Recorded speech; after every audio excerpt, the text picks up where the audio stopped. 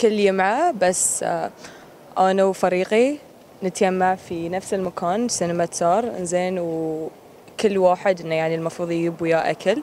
إنزين وأهم شيء إنه يكون آه، 100 وجبة على الأقل 100 وجبة وعقب إنه بس نروح ونوزعهم على ال- الفرجان. وحبينا نرسل رسالة من هذا المشروع نفسه أن الأمور في الحياة ممكن أن هي تصير بدون ما تكون هي أمور مادية.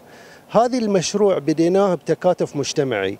نرفض أن إحنا نستلم أي مبلغ من عند الشخص ومشاركته تكون مشاركة باللي هو يقدر يجيبه ويكون معانا. عضو في نفس اليوم يوزع معانا على الأسر المحتاجة الوجبة وتكون هي وجبة كاملة.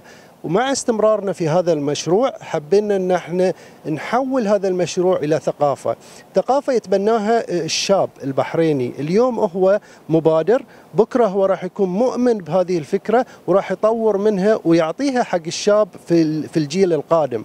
بهالطريقة إحنا قمنا وعملنا مجتمع مجتمع واعي متكاتف لما الشاب يوزع هذه الوجبة على أي منزل كان أو من البيوت اللي موجودة في القرى يحرص على شيء واحد.